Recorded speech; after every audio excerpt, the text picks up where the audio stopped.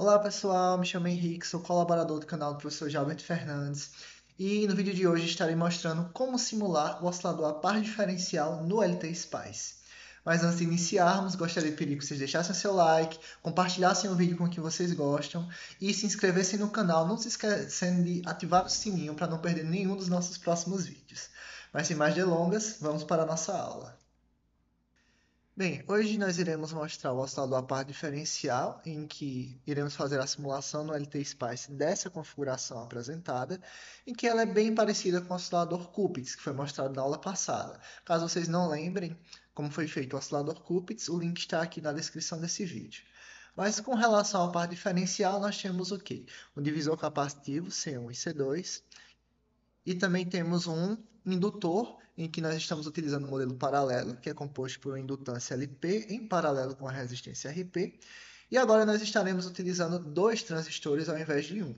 Qual a grande vantagem de se utilizar dois transistores? É pelo fato de que, quando nós utilizamos esse par diferencial, que nós chamamos, primeiro, esses transistores eles devem ter as mesmas especificações, ou seja, devem estar presentes caso seja feita a montagem num mesmo chip. E esses dois transistores vão fazer com que as componentes harmônicas da nossa tensão de saída, V alta, elas se cancelem. Mas por que isso é importante? Pelo fato de que quando elas se cancelam, quer dizer que a senoide gerada ela não vai ter uma distorção tão grande quanto, por exemplo, no oscilador Cupitz, em que nós temos apenas um transistor sendo utilizado. Então, a grande vantagem do par diferencial é que a nossa tensão de saída ela vai estar muito mais próxima de uma senoide verdadeira do que nos outros, nas outras topologias de osciladores senoidais. Então, dado isso, nós temos que esse oscilador a par diferencial, ele apresenta uma tensão de alimentação VCC.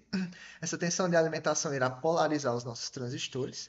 Além disso, nós temos uma fonte de corrente IE. Essa fonte de corrente ela vai ser dividida igualmente nos emissores de ambos os transistores.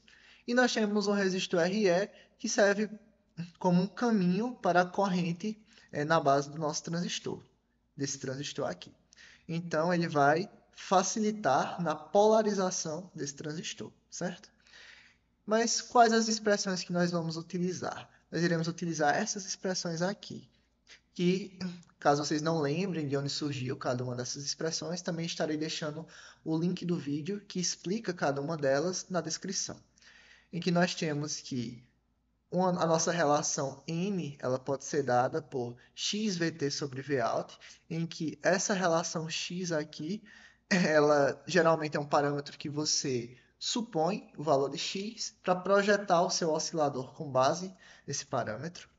Nós temos também que o nosso n ele também pode ser dado como uma relação entre os capacitores. Capac...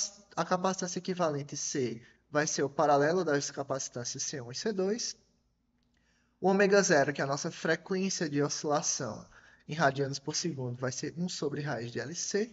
E nós temos que a nossa transcondutância de grandes sinais é dado por 1 sobre o parâmetro N, a transcondutância de pequenos sinais e a resistência em paralelo do nosso modelo de indutor. Também essa transcondutância de pequenos sinais pode ser calculada como sendo alfa, que é um parâmetro do transistor, multiplicado por IE, que é a corrente no emissor, no caso a corrente dessa fonte de corrente, dividido por 4 VT. VT é a tensão térmica, que é de 25 mV. Certo?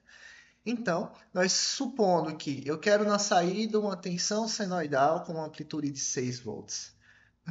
Eu quero um X que eu estipulei como sendo 5, poderia ser qualquer outro valor. E também estipulei os valores de RP e de LP, no caso eu considerei RP 8 kΩ e LP 100 microhenry.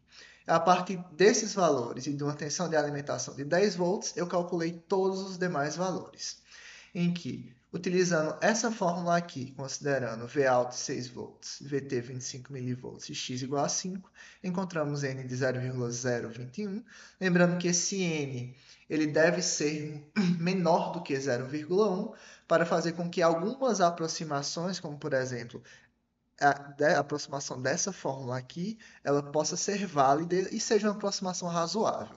Para que a gente possa utilizar ela, esse n tem que ser menor do que 0,1.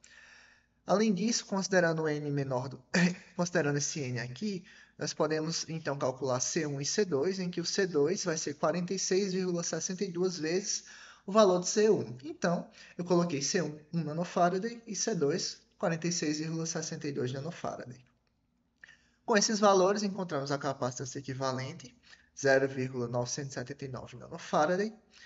Por essa fórmula, considerando que F é igual a 1 sobre 2π raiz de LC, encontramos uma frequência de 509 kHz aproximadamente. E nessa fórmulazinha aqui, quando x é igual a 5, nós temos uma tabela que é disponibilizada no livro do Clark e Hess, em que diz que para um x de 5, nós temos uma transcondutância de grandes sinais de 0,4701. Levando isso em consideração, nós encontramos então, dado que a gente tem o RP de 8 kΩ e o N de 0,021, encontramos o nosso GMzinho. Em seguida, nós substituímos todos os valores na última fórmula, considerando o alfa aproximadamente 1, e encontramos o valor de IE, que é 1,266 mA. Ao colocar isso no LT-SPICE, vamos então ver a nossa tensão de saída. No LT Spice, nós temos aqui o circuito apresentado, com todos os parâmetros calculados. E vamos aqui no simular, run, e nós encontramos na nossa tensão de saída Vout, que é essa tensão aqui nesse ponto, nessa barra, nós encontramos que inicialmente tem uma pequena oscilação, mas essa oscilação ela cessa por um tempo e depois ela volta a acontecer e de forma permanente. Esse início aqui, nesses primeiros 1 milissegundos, a gente considera como transiente do circuito, em que é o tempo que ele leva até chegar a, ao seu regime permanente. Então, nessa parte aqui, onde de fato a oscilação está acontecendo, a gente vai dar um zoom. A gente vai ver que nós temos uma senoide na nossa saída. Essa senoide, se nós verificarmos, ela vai ter uma amplitude, se a gente for ver aqui, pico a pico, de aproximadamente 11,25 volts. Então, não é exatamente 6 volts, porém está bem próximo do valor teórico calculado. No caso, a gente verifica primeiro a alimentação que nós utilizamos, vocês forem ver aqui, é de 10 volts VCC. Então, isso implica que o nosso nível DC do nosso circuito, né, ele é exatamente 10 volts. Então, nós podemos ver que a nossa senoide ela está com o nível de DC de 10 volts. Do seu nível DC para o pico positivo, tem aproximadamente 5,8 volts. E do nível DC até o pico negativo, nós temos também aproximadamente 5,7, 5,8 volts, totalizando um nível pico a pico, uma amplitude pico a pico de aproximadamente 11,2 volts. Então, com isso, nós definimos que nossa senoide ela teve uma amplitude bem próxima da amplitude é, teórica desejada. E quando nós analisamos a frequência, que é colocando em dois ciclos de onda é, os nossos eixos verticais, né, os nossos cursores, nós encontramos uma frequência de aproximadamente 505,2 kHz. A frequência calculada antes na teoria foi de 508 kHz, então foi bem próxima do valor calculado. Essa pequena diferença dá pelo fato de que esses cursores não estão exatamente no pico das nossas, é, de cada ciclo de onda. Porém, verifica-se que nós encontramos uma tensão senoidal.